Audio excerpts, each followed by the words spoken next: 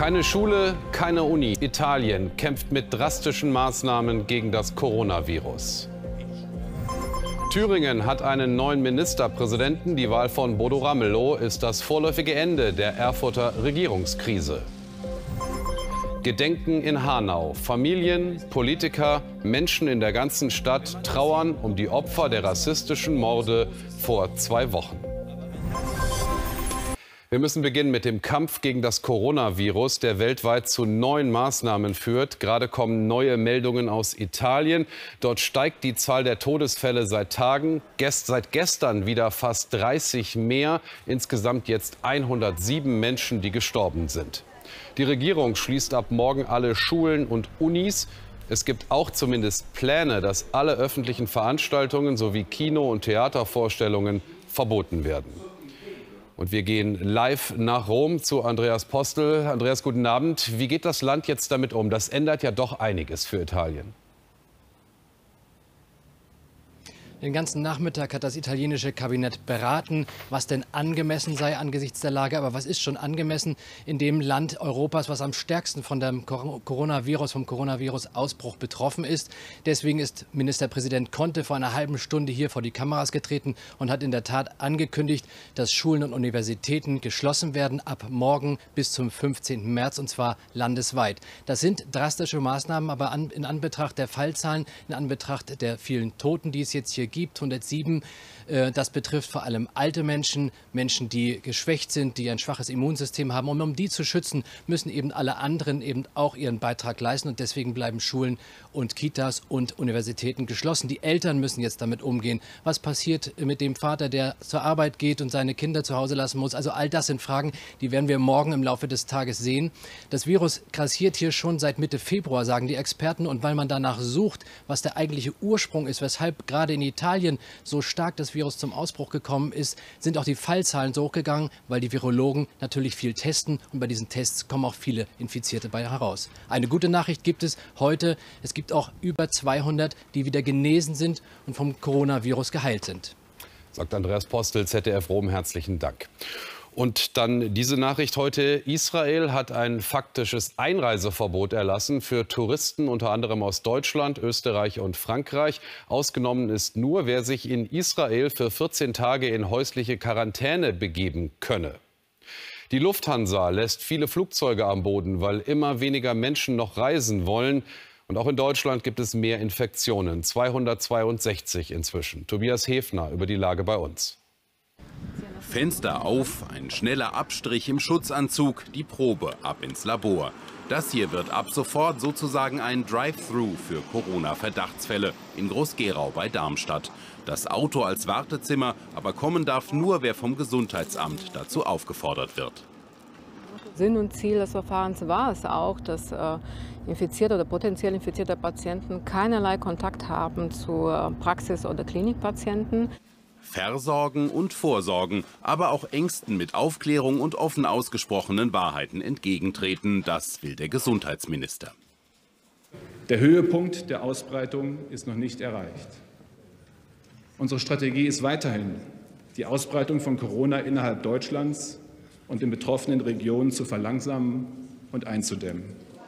Ein drängendes Problem dabei, Schutzausrüstung wird täglich knapper weil die Produktion in China eingebrochen ist und sich gleichzeitig fast die ganze Welt eindecken will. Seit 11 Uhr heute gilt nun ein deutsches Exportverbot für Schutzmasken. Zur Deckung des Privatbedarfs an Desinfektionsmitteln wollen Bund und Länder Vorschriften lockern. Danach ist es Apothekerinnen und Apothekern möglich, Desinfektionsmittel zur Händedesinfektion für den privaten Gebrauch äh, auch mit Industriealkohol herzustellen. Schutz stehe vor ökonomischen Interessen, sagt die Regierung. Und doch werden auch die Folgen für die Wirtschaft immer sichtbarer. Die Lufthansa-Gruppe lässt vorübergehend gleich 150 Jets am Boden. Die Nachfrage nach Flügen ist komplett im Keller. Besonders wichtig ist es, alte und kranke Menschen zu schützen, also die Gefahr möglichst gering zu halten, dass sie mit dem Virus in Kontakt kommen. Krankenhäuser, Alten- und Pflegeheime haben die Hygienevorschriften verschärft. Wo das Virus trotzdem angekommen ist, wird es schwierig. Eva Schiller und Sandra Susanka berichten aus Bad Rappenau in Baden-Württemberg. Besuch vorläufig verboten. 120 Menschen stehen im Pflegebereich des Bad Rappenauer Seniorenheims unter Quarantäne. Nach seinem Italienurlaub hat ein 32-jähriger Pfleger seine Kollegin und einen Heimbewohner mit dem Coronavirus angesteckt. Die Anwohner besorgt. Man weiß ja nicht, was man sich hier eingefangen hat. Man geht ja einkaufen, man ist im Ort unterwegs und weiß man was noch alles kommt. Ich bin selber in einem Altenpflegeheim tätig und ich nehme das schon ernst. Der Fall zeigt das Dilemma der Corona-Krise. Streng genommen nach Behördenempfehlung müssten alle Pflegekräfte zu Hause bleiben. Aber wie soll das gehen bei 70 Pflegebedürftigen? Irgendwo muss ja auch die Versorgung der Patienten und der Bewohner sichergestellt sein. Deswegen hat man eben eine Regelung gefunden, dass man sagt, die Mitarbeiter dürfen, auch wenn sie in, in Isolation sind, auf direktem Weg von ihrer Wohnung in die, ins, ins Heim fahren, um dort eben dann ihren Dienst zu verrichten. Ob sich so noch mehr Heimbewohner anstecken, ungewiss. Die drei Corona-Infizierten wurden in einer Klinik isoliert, ihr Zustand stabil. Aber über allem schwebt noch eine Sorge. Wir fürchten natürlich, dass ältere infizierte Patienten schwerer erkrankt sein können. Das Immunsystem ist im höheren Lebensalter schwächer. Die Kraft des Immunsystems lässt nach. Die Patienten sind generell gefährdeter. Alle Heimbewohner und Pflegekräfte unter Quarantäne wurden auf das Coronavirus getestet. Die Ergebnisse stehen noch aus, weil viele Labore überlastet sind. Es gibt viele offene Fragen, immer noch. Wenn Sie mehr wissen wollen, empfehlen wir Ihnen die Dokumentation zwischen Pandemie und Hysterie, wie das Coronavirus die Welt erschüttert. Zu sehen jetzt bei heute.de und in der Heute-App und im Fernsehen heute Nacht um 10 nach 1. Unser nächstes Thema, vorläufiger Schlussstrich nach einem Politbeben. Thüringen hat einen neuen Ministerpräsidenten. Es ist Bodo Ramelow von der Linkspartei.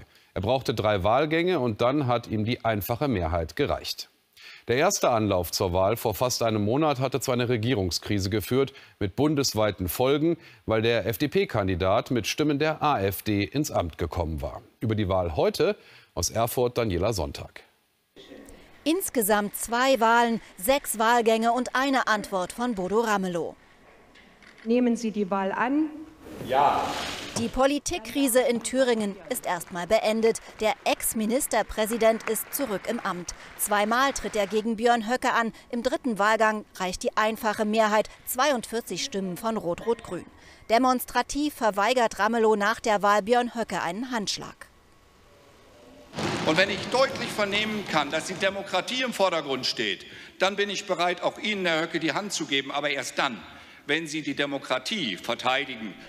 Ramelow will somit den Abstimmungstricks der AfD abrechnen. Auch Höckes Rückzug im dritten Wahlgang heute war Strategie, sagt die AfD selbst weil man äh, schon noch die Möglichkeit äh, sich offen halten wollte, dass, man, dass wir äh, die Wahl von Ministerpräsidenten Ramelow dann eben auch anfechten. Denn er hat ja keine Mehrheit. Doch daraus wird wohl nichts. Es gab mehr Ja- als Nein-Stimmen für Ramelow, weil die FDP und Thomas Kemmerich gar nicht mitwählten und die CDU sich enthielt. Lediglich im dritten Wahlgang eine Enthaltung weniger. Ich bin stolz auf meine Fraktion. Klar ist auch, dass wir jetzt eine Situation haben, wo es eine rot-rot-grüne Minderheitsregierung gibt. Wir sind als CDU eine konstruktive Opposition. Wir werden eigenständig Anträge einbringen.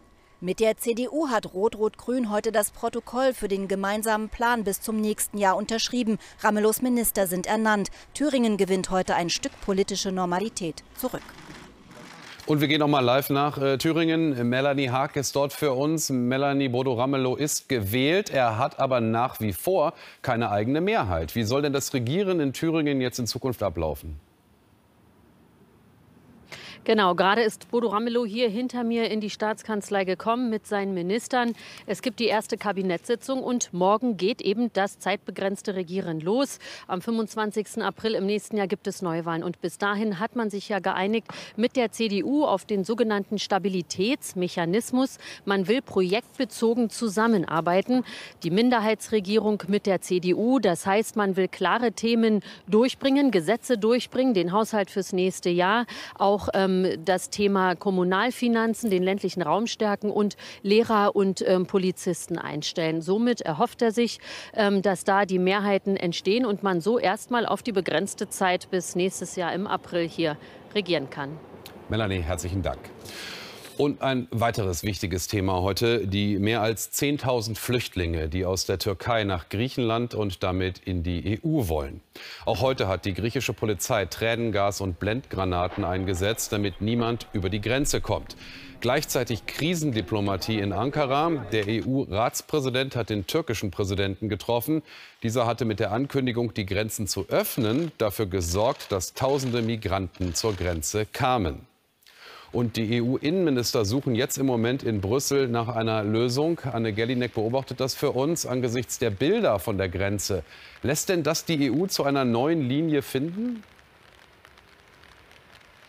Ja, aber anders als man meinen könnte. Es ist schon bemerkenswert, mit welcher Klarheit und Härte die 27 EU-Innenminister hier heute die Abschottung der griechischen Grenze noch einmal verteidigt haben. Es gab keine Kritik daran, dass Griechenland die Asylverfahren für die nächsten vier Wochen ausgesetzt hat. Im Gegenteil, der deutsche Innenminister Horst Seehofer sagte wörtlich, das sei in Ordnung. Schließlich verteidigten die Griechen eine europäische Außengrenze. Es geht bei dem Innenministertreffen hier in Brüssel auch nicht darum, Flüchtlinge aus dem Niemandsland zwischen der Türkei Türkei und Griechenland aufzunehmen. Denn so heißt es hier, Europa werde sich nicht vom türkischen Präsidenten Erdogan erpressen lassen. Und so bleibt vielleicht nur ein klitzekleines Zeichen der Hoffnung für die Flüchtlinge auf den, in den überfüllten Lagern auf den griechischen Inseln.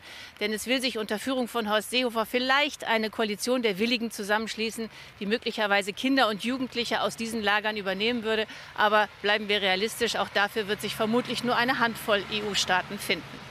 Anne Gellinek, ZDF Brüssel, zu diesem Thema. Dankeschön.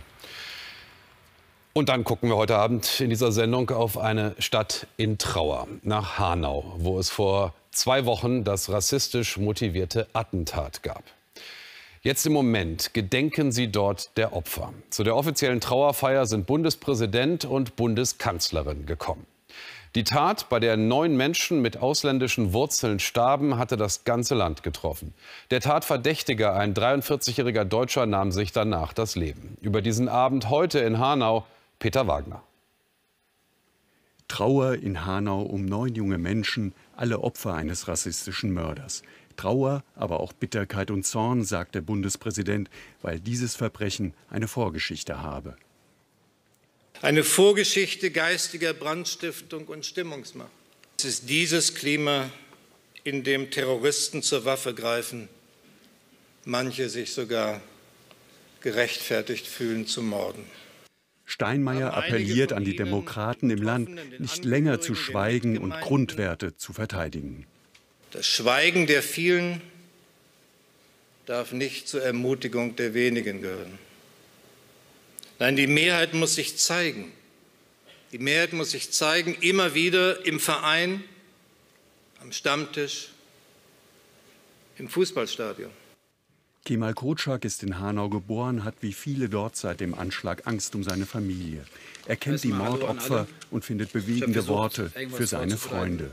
Diese Menschen kamen jeden Tag nicht um was zu kaufen, sondern um Hallo zu sagen, um mich zu umarmen, oder ich sie zu umarmen.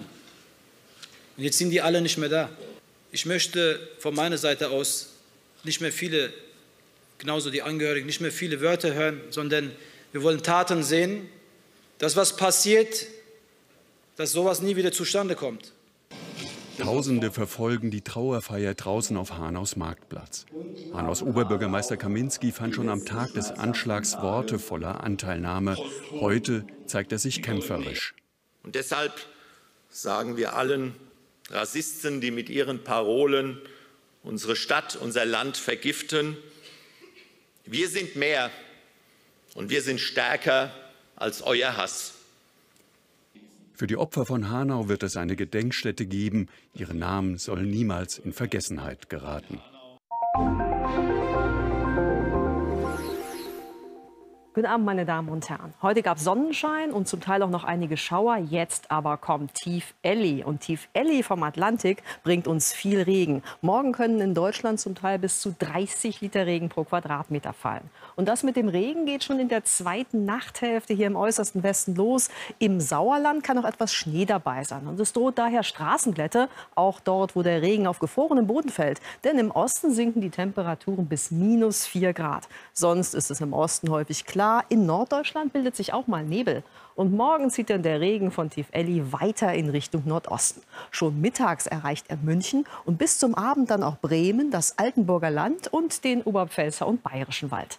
Im Nordosten ist es dagegen zum Teil sogar ein bisschen sonnig. Da liegen die Temperaturen bei 10, 11 Grad. Sonst werden 5 bis 8 Grad erreicht und am mildesten wird es am Oberrhein mit 12 Grad. Und das liegt daran, dass da spätestens zum Abend der Wind böig auffrischt. Da sind Sturmböen möglich, zum Beispiel auf der Schwäbischen Alb, im Schwarzwald und auch im Hunsrück. Das Tief Elli zieht dann am Freitag weiter über Norddeutschland hinweg. Danach geht es wechselhaft weiter. Der Sonntag wird freundlicher. Schönen Abend noch.